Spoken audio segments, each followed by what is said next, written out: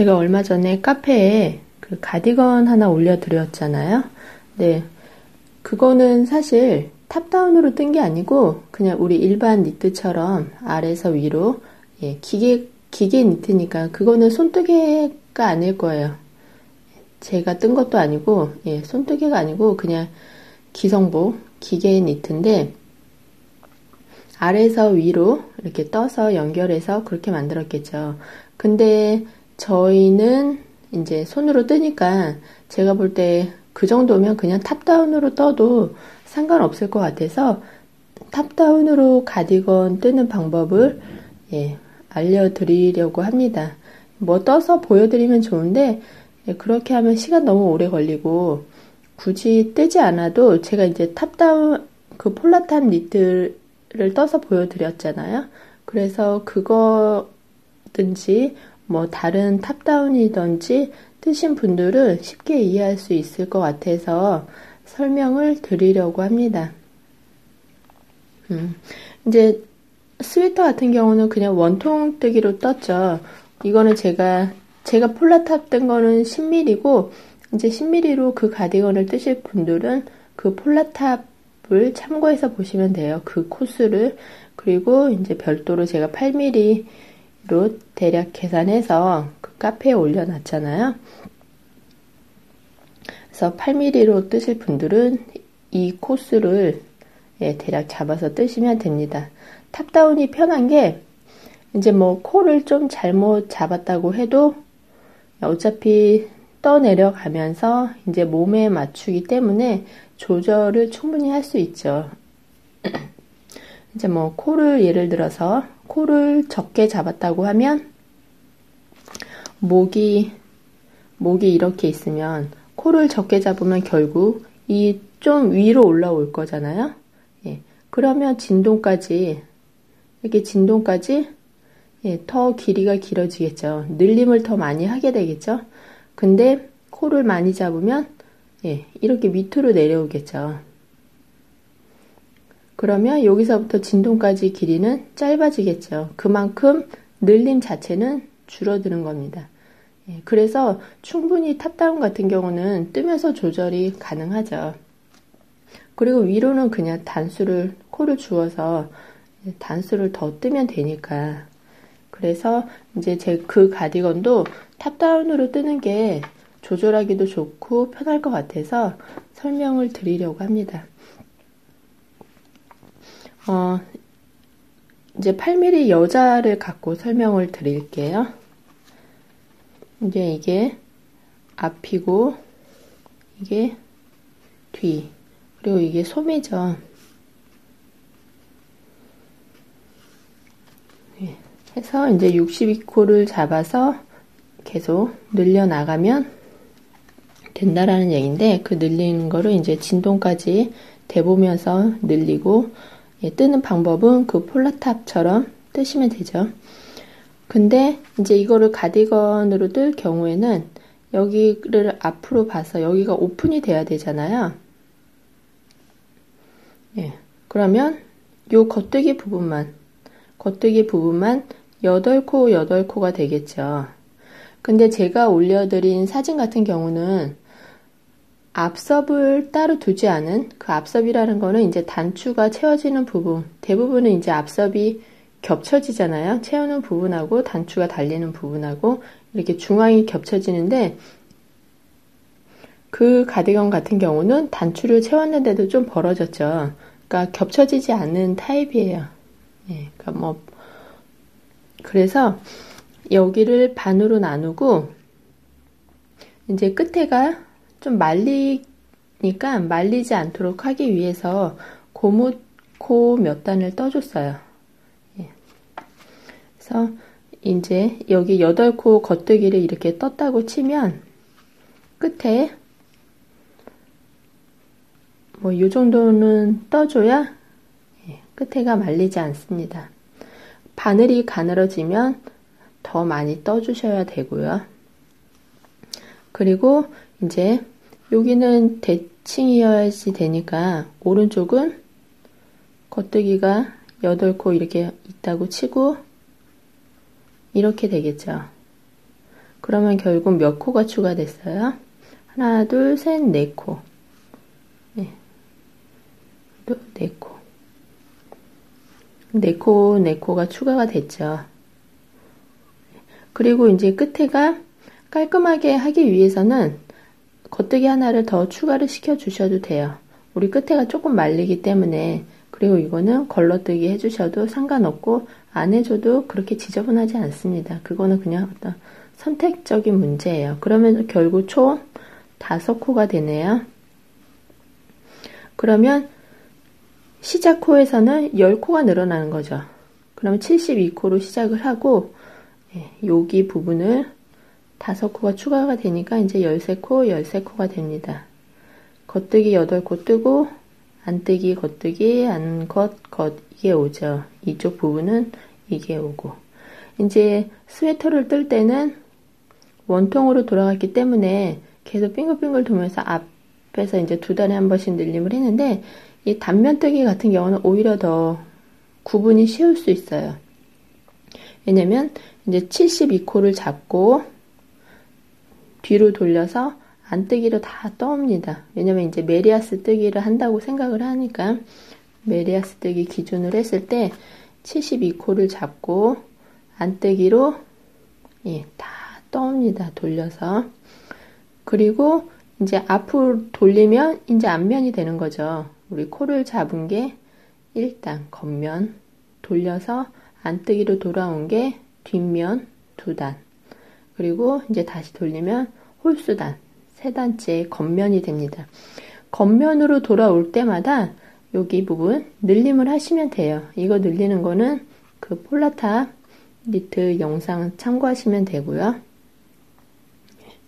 늘림을 하면서 요거 만들어 주셔야죠. 그러니까 코를 72코를 잡고 돌려서 이 부분을 떠 주셔야 돼요. 그러니까 우리 뒷면으로 돌려서 뜨는 거니까 반대 기호로 뜨셔야 되죠.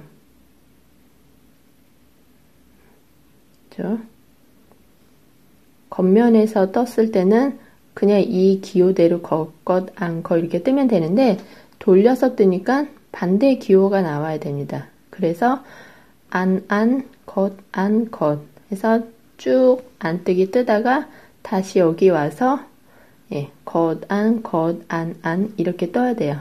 뒷면이기 때문에 코를 잡고 뒤를 돌려서 뜰 때를 말씀을 드리는 거예요. 그렇게 뜨고 이제 다시 돌려서 세 단째 겉면에서는 이 기호대로 겉겉 안겉 안겉겉겉 이렇게 계속 뜨면 되죠. 이게 답니다. 그러니까 처음에 코를 잡고 뒤로 돌려서 떴을 때 이 무늬를 딱 제대로 떠줘야 다음부터는 그냥 바늘에 걸려있는 기호대로 뜨면 되니까 예, 쉽죠. 그래서 그렇게 하시면 되고요. 뜨면서 단추구멍은 예, 이제 적당히 나눠서 떠주셔야 되고요. 그래서 그 사, 올려드린 사진 그거는 그렇게 하시면 되고요. 이제 앞섭을 일반 앞섭처럼 겹치게 하고 싶으시면 어, 만약에 쉽게 4cm가 앞섭을 4cm로 두고 싶다라고 하면은 여기 중앙이 이 중앙 기준으로 4cm인 거잖아요. 요만큼이. 그러니까 이 중앙에서 2cm, 2cm예요. 이 부분만 다시 설명을 드리면 중앙, 여기가 중앙이에요. 지금 여기 16코 여기가 중앙 앞섭은 요, 요만큼 이게 겹치는 거잖아요. 왼쪽도 요만큼이고 오른쪽도 요만큼이고 이게 2cm 2cm가 돼요. 그래서 이 8코 부분에서 고무단, 고무단이 조금 들어가 줘야 돼요. 예. 근데 이게 이제 앞이 좀 이제 볼륨이 좀 있으신 분들은 뭐 그냥 이거 없이 중앙 딱 나눠서 고무단 4cm만큼 더 떠주셔도 상관없어요. 그러니까 여자 같은 경우는 예, 상관없는데 조금 이제 섬세하게 뜨고 싶으시다 하시는 분들은 이렇게 이 8코 원래 겉뜨기 요 부분에서도 요만큼을 고무단으로 해주셔야 됩니다. 그러니까 요만큼을 고무단으로 처리를 해주셔야 돼요. 음, 그래서 여기 이제 원래는 겉뜨기 8코인데 다 겉뜨기 8코로 안 뜨고 끝에를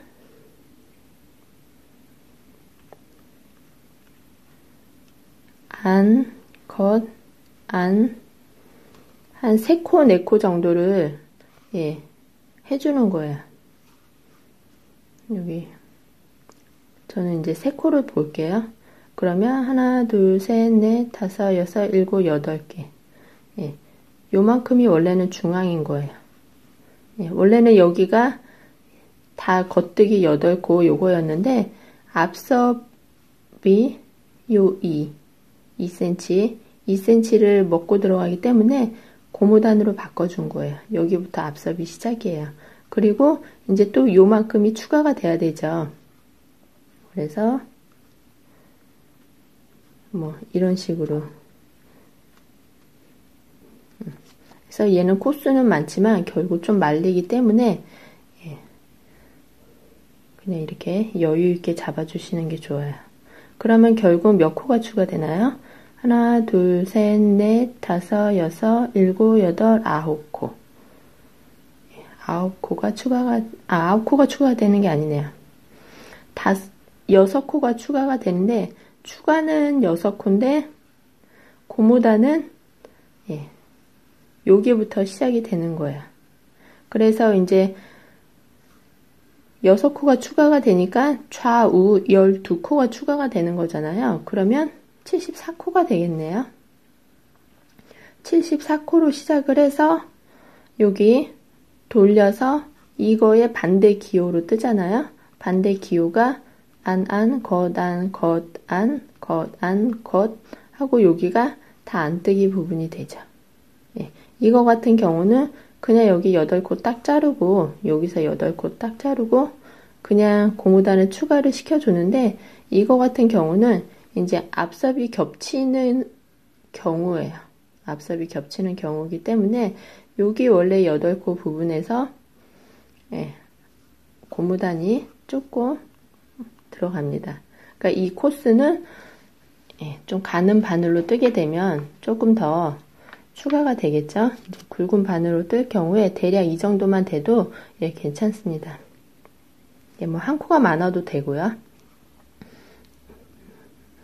그래서 시작 부분을 요만큼을 예, 고무 처리를 해주고 나머지는 다 안뜨기로 뜨고 그럼 반대쪽은 예, 대칭이니까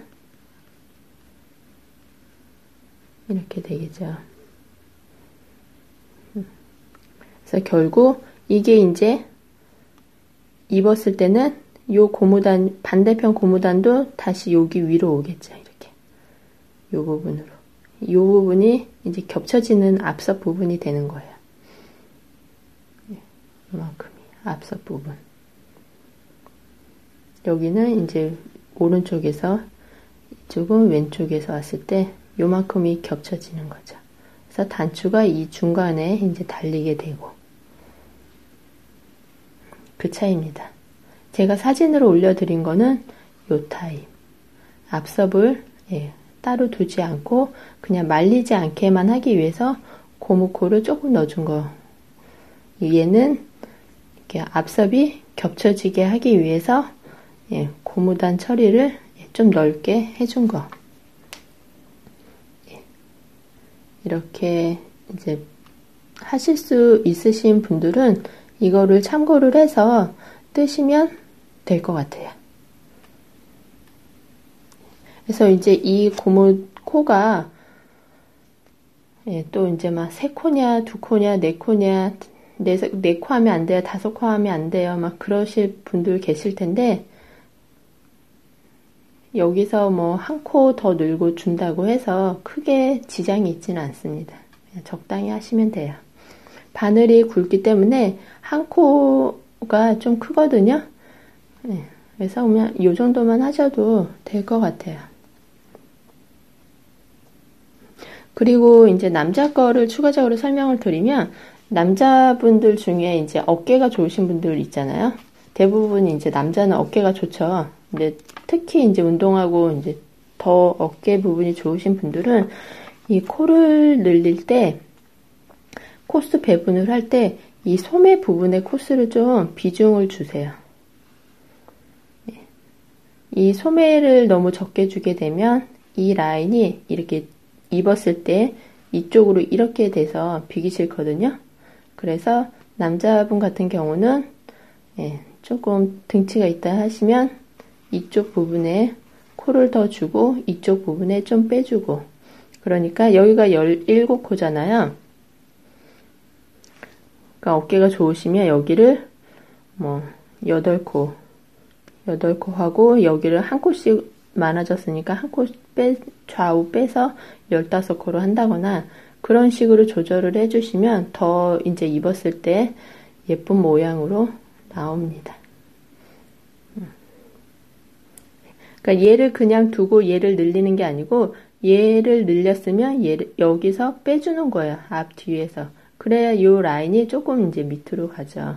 왜냐면 여기도 늘림 이대로 두고 여기도 늘림을 해주면 물론 이제 사이즈가 커지면 상관이 없는데 사이즈가 사이즈는 안 키우는 상태에서 이 어깨가 좋으신 분들 기준이에요. 그 설명입니다.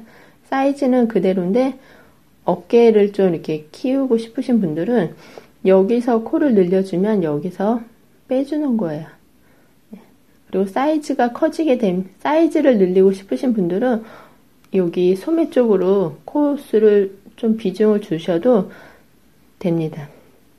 예, 남자분들은 어깨가 좋기 때문에 그리고 이제 소매는 조금 뜨면서 줄임을 하는데 뭐 정확히 계산 못 하시잖아요. 그러니까 대략 10단의 한 코 줄임이라든지 12단의 한 코 줄임이라든지 그렇게 번갈아 가면서 8단의 한 코 줄임 하셔도 되고 그렇게 번갈아 가면서 좀 줄임을 하시면 맞춰감 뜨면서 맞춰가면서 그렇게 하시면 됩니다. 탑다운의 장점이 그거죠. 길이를 어느 정도 예, 뜨면서 맞출 수 있는 장점이 있습니다. 예, 그러니까 어, 길이 같은 거는 뭐 아래서 위로 뜨던 위에서 아래로 뜨던 뜨면서 예, 조절을 하시면 될 것 같아요. 그래서 가디건 설명을 드렸는데 이제 뜨실 수 있으신 분들은 참고해서 뜨시면 좋을 것 같습니다.